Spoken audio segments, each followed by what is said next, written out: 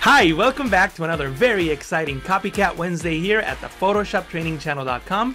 My name is Jesus Ramirez. Thank you so much for joining me today. I know it's not Wednesday, but I still wanted to get an episode out for you this week. And today we're going to recreate the Arkansas movie poster in Photoshop. It's a really cool movie poster, and I think that'll teach us a lot about clipping mask, link layers, and the camera raw filter. And if you want to follow along with me, then make sure you download the asset files. I'm placing a link below in the description under tutorial images. Why don't we jump right into the tutorial? These are the images that I'm going to work with. We're going to use this document to create the poster. Notice that I have a white background and a logo. You can use whatever logo you want. It could be a text file, a pixel layer, or a vector graphic. As long as you have a logo, that's all you need. In this case, we're going to use a similar logo as to the one found in the original movie poster. I also have this portrait of this man, and I have two portraits that we're going to use in the composite. And finally, I have this photo of a car. So let's start with the car first. And what I'm going to do is make a selection. I need to select everything but the sky. And you can just use the quick selection tool for that. With the quick selection tool active, you can use the right bracket key on the keyboard to make a larger brush and just paint over the bottom part of the photo, make sure that you get the car as well. The selection doesn't need to be perfect. As long as it's good enough, you should be fine. And what you need to do now is simply click on the layer mask icon to create a layer mask and always name your layers. I'll call this layer car. And I'll right click and convert it into a smart object so that you can apply non-destructive adjustments, distortions, filters, and transformations. Then I'm going to select the move tool click and drag the layer into my working document and release. Photoshop will place the layer in that document and I can now press Ctrl T on Windows, Command T to transform. If you don't see the transformation handles, you can press Ctrl 0, Command 0 on the Mac to zoom out and see the transformation handles. This is called the bird's eye view. Once again, that's Control 0 on Windows, Command 0 on the Mac. And you can then click and drag on these corner handles to scale the image in and use that same keyboard shortcut, Control 0, Command 0 to zoom back in. And what I'm gonna do now is right click and flip the image horizontally. And I'll click and drag it and place it down here and scale up like so. And I'm just making sure that I get the car and the ground into position. So right about here, this seems to be like a good spot. I'll click on the check mark to commit the changes. And what I'll do now is change the background color. So I'll just create a solid color fill adjustment layer. And from here, I'll select the color that is just off red and I'll press OK.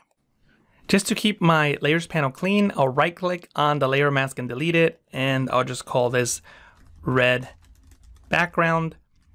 And since I don't really need this original background, I'm just going to select it and tap on the backspace key. That's the delete key on the Mac to get rid of that background layer.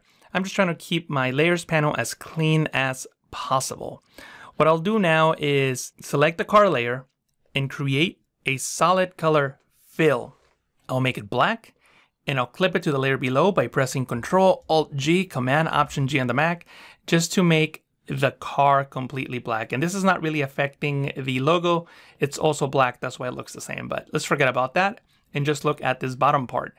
What I'll do now is zoom in, and if you look at the original poster, you can actually see the tail light of the car. So I'm gonna try to bring that out. So I'll select the brush tool, and I'll paint with black to hide the black pixels.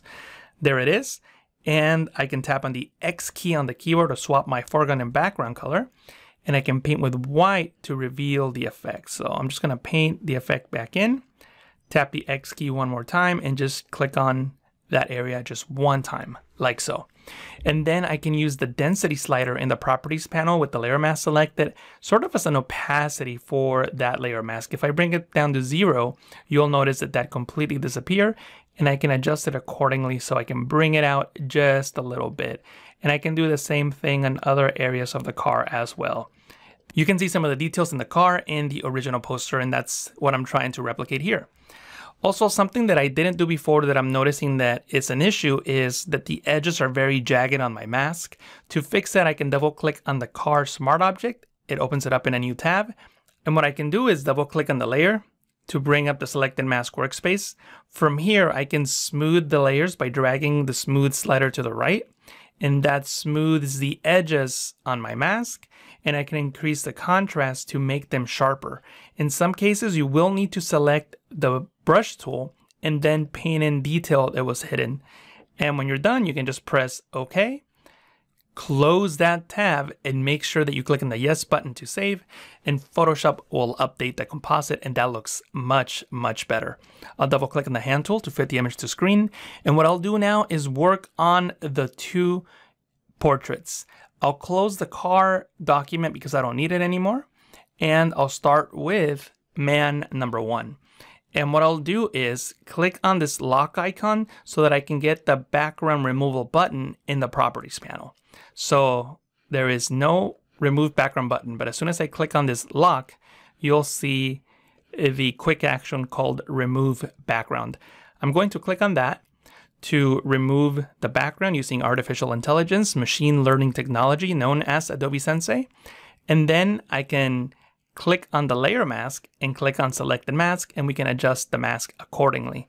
In this case, Photoshop did a really good job. So I'm just gonna smooth it a bit and contract it a bit and press OK. And we probably won't need much more than this.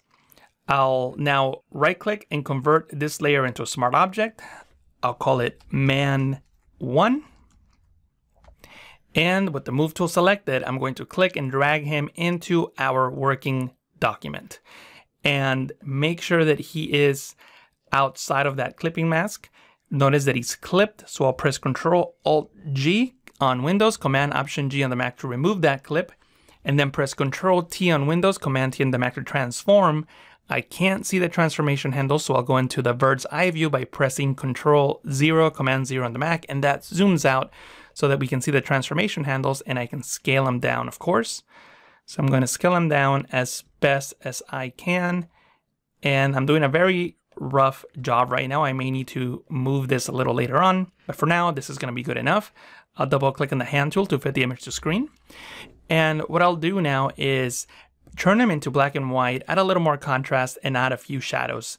One of the easiest ways to do that is by going into the filter menu and selecting the camera raw filter. And from here, we're gonna make this into a black and white image. So above the basic panel, you'll see your profile. You can simply select a monochrome profile, like so, and that makes it into a black and white. Another thing that you can do is simply click on this B and W button and that does the same thing. And then you can adjust your image accordingly. You can make the highlights a little bit darker, maybe the shadows as well, just to add a bit more contrast. Obviously drag the contrast slider to the right. And then in this case, I'll add texture by dragging the texture slider to the right. A little bit of clarity, which is contrast in edge pixels. And another thing that you can do is go into the black and white mixer and from here, either brighten or darken the original colors in the image. For example, I can make the reds brighter or darker. See how that's affecting his lips and other areas of his face? So adjust it accordingly. The oranges, and then the other colors in the image. There's probably not going to be too many greens, a few aquas, not many aquas, a little bit of blue, so maybe I'll make his sweater just a little bit darker so that there's some contrast, and just adjust the sliders accordingly.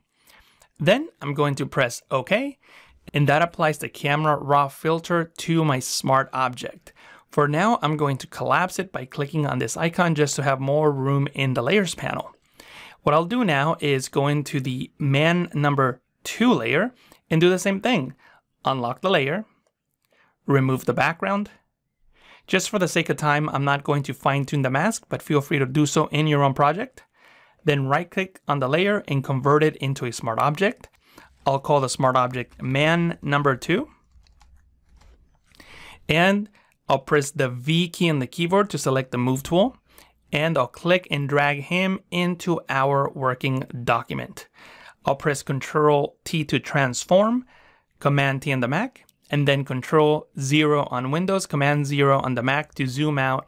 And I can click and drag on the corner handles to scale the image right about here. And I'll click on the check mark to commit the changes. I'll double click on the hand tool to fit the image to screen. And what I'll do is I'll place the man number two layer below the man number one layer. And just to make things easier for us, I'm going to take the camera raw adjustments from man number one and copy them into man number two. And it's very easy to do. All you need to do is expand the smart object, hold Alt on Windows, Option on the Mac, and click and drag the smart object onto the second layer, and Photoshop will apply it automatically.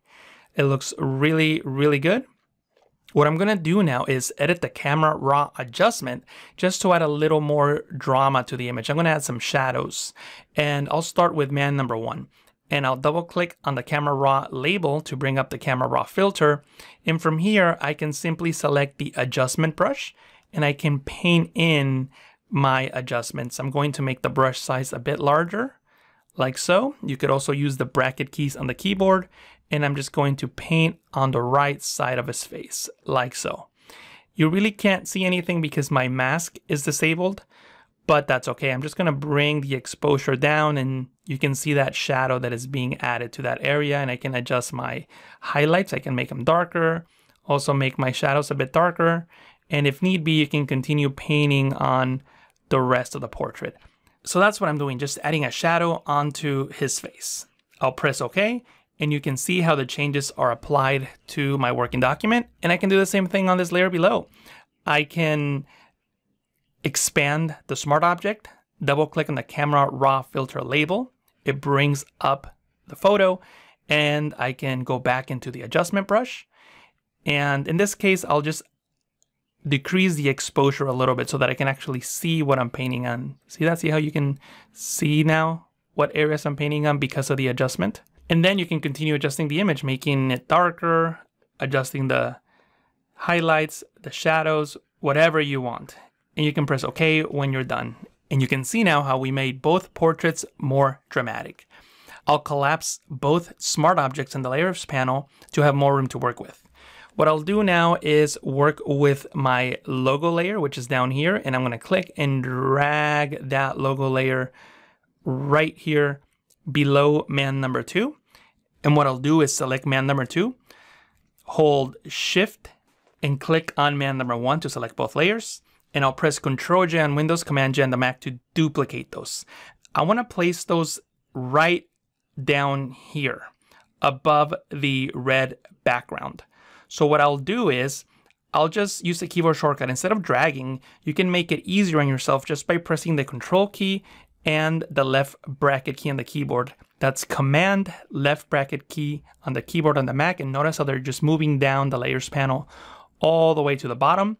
And I went too far. Notice how I placed both layers way at the bottom. I actually want them above the red background so I can press control and the right bracket key to move those two up. And that's exactly where I want them. Next, I'm going to select both of these layers. So I'll hold shift and click on both to select them. And then I'll press control alt G, command option G on the Mac to create a clipping mask around the logo. And if I come down to these two layers and disable them, you can see the effect that we got. We got that really, really cool effect. And what I'm gonna do now is go back to these two layers here at the bottom, and I'm gonna put them into a group. And I'll call this bottom faces. And I'll put them inside of that group. Select them and drag them into the group and now they're inside. And you can see the indentation here, which shows you that they're inside of the group.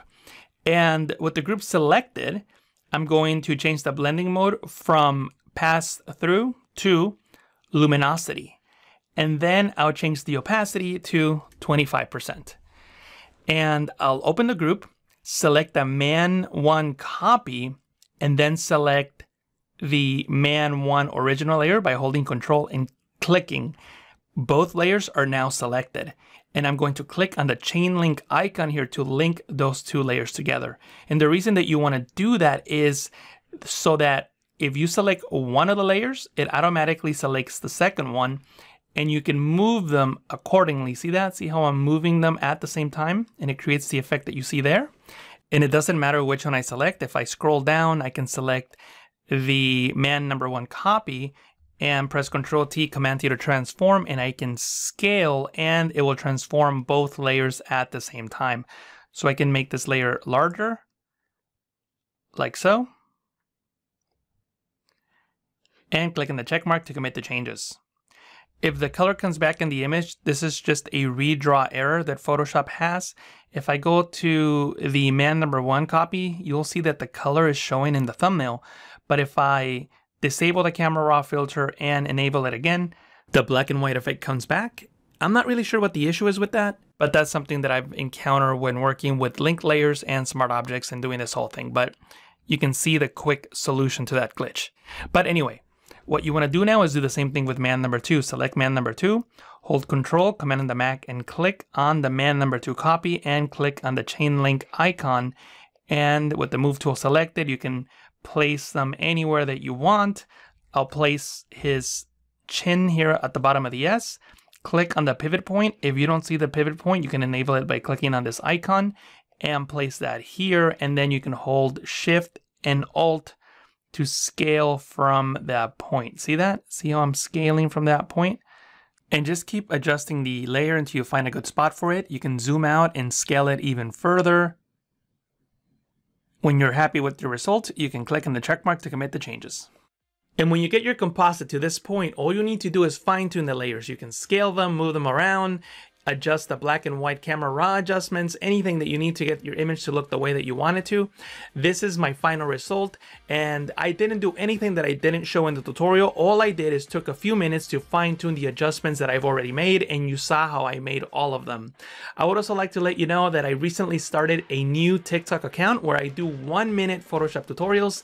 You can check it out if you like. Link below in the description. I've already gotten over 80,000 subscribers in just one week. So thank you guys so much for that, for those of you that watch both my YouTube channel and now my TikTok account. And if you haven't subscribed to the Photoshop training channel here on YouTube, make sure that you do that now by clicking on the subscribe button and also the notification buttons so that you get notified whenever I post a new tutorial. Thank you again for joining me on another Copycat Wednesday, not on a Wednesday, but I really hope that you enjoy the tips and techniques that I showed in this video. Thank you so much for watching. I'll talk to you again in the next Photoshop tutorial.